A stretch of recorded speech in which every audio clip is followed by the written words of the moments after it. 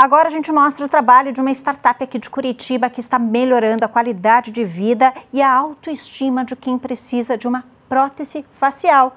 Com a tecnologia, é produzida em menos tempo e ainda melhora o trabalho dos profissionais que colocam a prótese. O Antônio e o Felipe sempre sonharam em aplicar o que aprenderam na faculdade de engenharia para melhorar a vida das pessoas.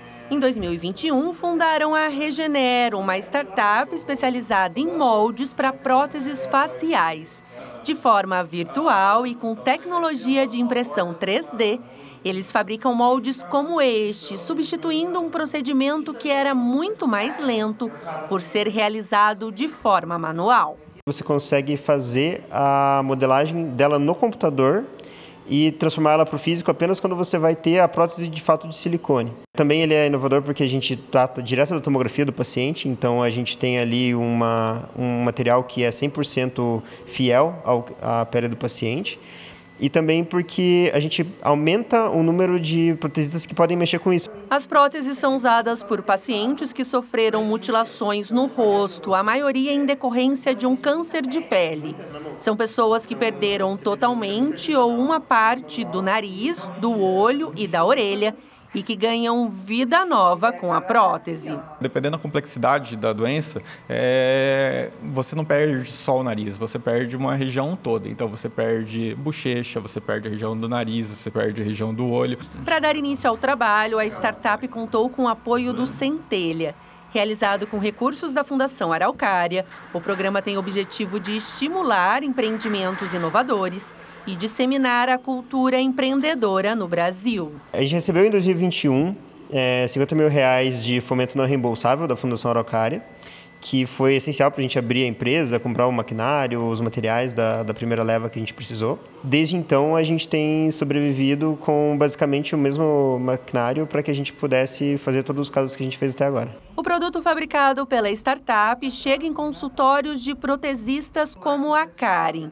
O molde agiliza e qualifica o trabalho da profissional, que deixa de esculpir a prótese à mão e foca na caracterização, adaptando cores e características do paciente. Esse molde aqui, para mim, ele, ele acelera muito a produção, porque eu não preciso esculpir, né? Eu não preciso ficar provando, ver se o paciente gostou, porque tudo isso é virtual.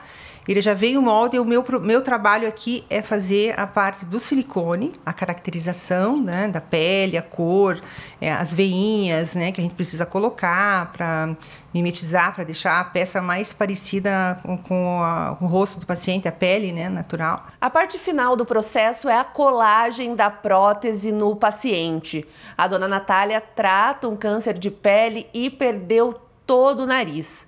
Agora, com a prótese, ela recuperou a autoestima, a qualidade de vida e a confiança para conviver em sociedade.